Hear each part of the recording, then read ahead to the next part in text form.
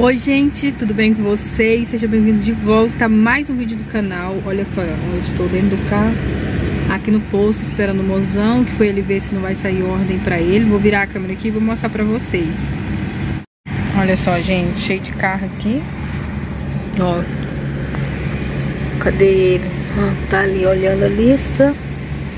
Tá lá no cantinho, ó então, gente, quartou, quartou por aqui, né? Hoje é quarta-feira, dia 23 de agosto de 2023. É, hoje eu vou dar uma limpada no meu armário lá de, de crochê, que tá só poeira, gente. Assim que eu sair daqui, vou chegar em casa. Eu acho que hoje eu não vou comer tapioca nem beber leite, eu vou comer um abacate que eu comprei. E aí, chegando lá, eu vou mostrar pra vocês. E já peço, gente, que se vocês já gostam desse tipo de vídeo, já deixe seu joinha, se inscreve no canal, compartilhe o vídeo, né? Deixe o seu comentário aqui também. E é isso, gente. Me acompanha comigo, fica comigo aqui até o final desse vídeo. Olha só, gente. Abacatinho com açúcar e leite ninho. Ontem, gente, eu fui ali numa loja, ó, comprei essa plantinha bem bonita. 10 reais eu paguei nela. E comprei essa daqui também, ó. Eu mostrei, eu acho que pra vocês no vídeo anterior. Agora que eu tô lembrando, eu mostrei, né? E aqui, ó, tirei todos os panos de prato da prateleira. Vou dar uma... Vou limpar ali. Porque choveu, né, gente? A poeira subiu, ó. Aí tá bem empoeirado onde ficam os panos de prato. Então, vou tá limpando. Porque senão vai acabar sujando os panos, né?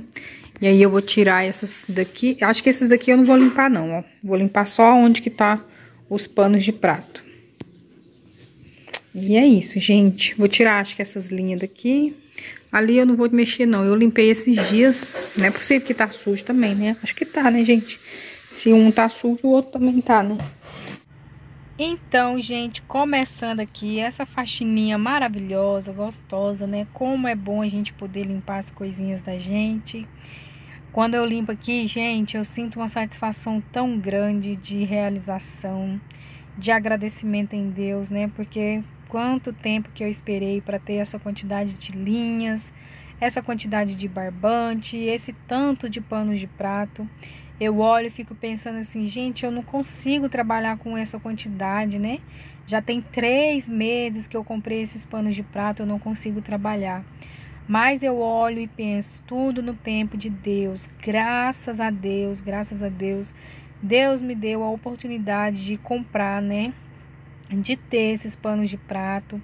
E eu agradeço muito, gente, a Deus e oro todos os dias que Deus me dê ainda mais sabedoria, mais força, mais garra, mais vontade ainda de trabalhar e eu possa ainda aumentar o meu ateliê, gente.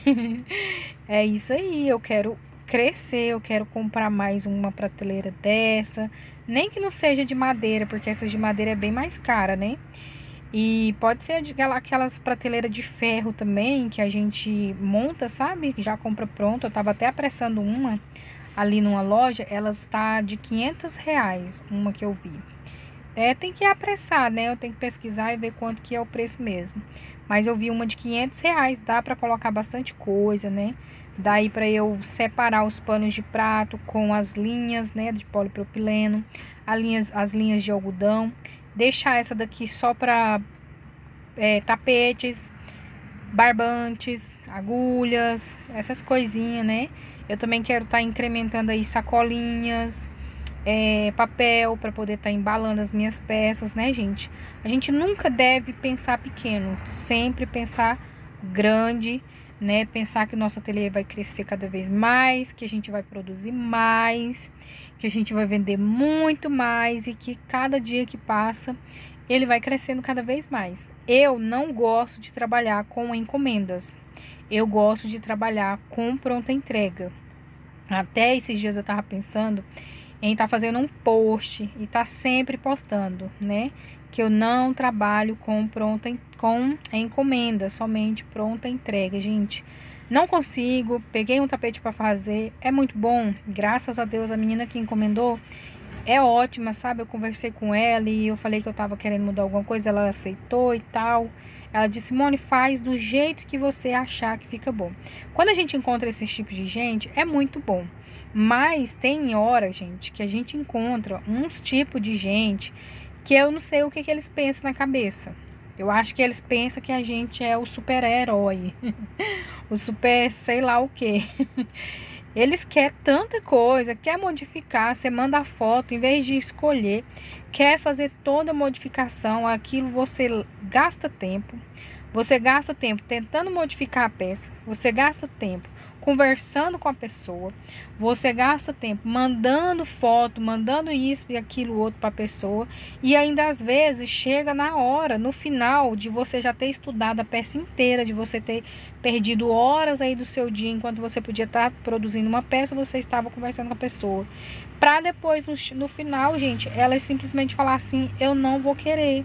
Tá bom? Muito obrigada, tal.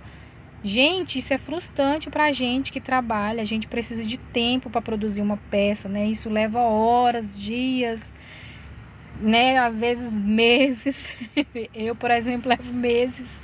Vocês sabem que eu sou um pouquinho demorada, mas tá tudo bem. Então, gente, eu, eu cheguei à conclusão que eu não consigo trabalhar com encomendas não consigo. Eu prefiro postar lá, né? Deixar bem claro que eu não trabalho com encomendas, somente a pronta entrega. Porque é isso, gente. Cada um do jeito que, que, que, acha bom de trabalhar, né? Eu acho muito bom. Eu vou lá, eu produzo a peça do jeito que eu quero, com a cor que eu quero.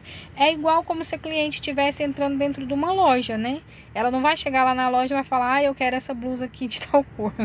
Pedir para fazer, né? Você chega lá, escolhe a peça que mais te agrada, né? Tem aquele monte de peça lá, você escolhe a que mais te agrada e tá tudo bem, gente.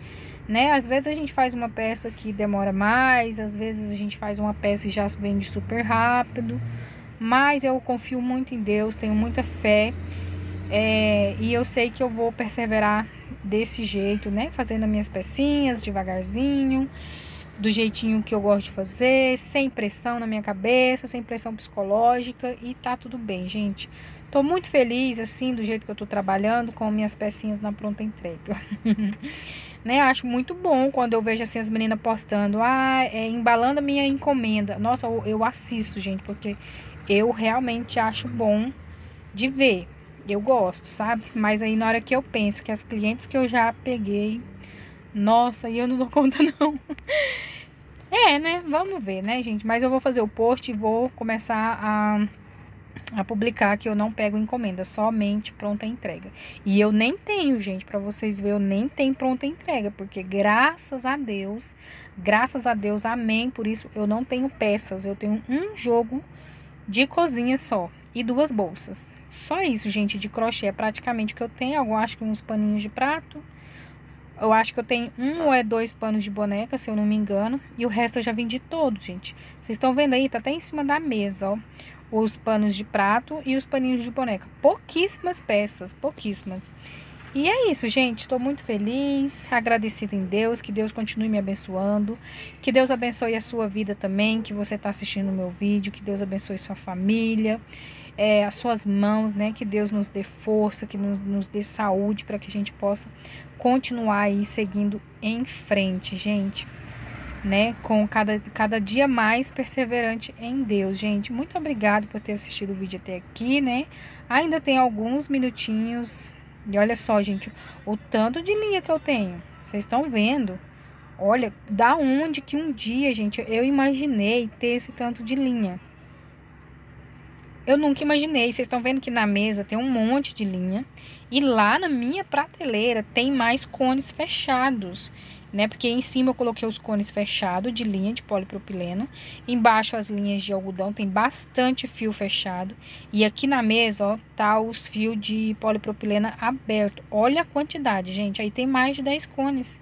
Da onde na minha vida que eu imaginei ter esse tanto de linha? Nunca. Olha lá onde eu já guardei os paninhos de prato. Nossa, olha a quantidade de panos de prato que tem para me produzir, gente. Só bênção, só bênçãos de Deus. E é isso, gente. Agora eu vou finalizar mesmo. Vou deixar vocês aí assistindo eu dando essa faxininha legal aí no meu ateliê, que é muito bom a gente sempre dar uma limpeza, né? Isso enche o coração da gente de gratidão.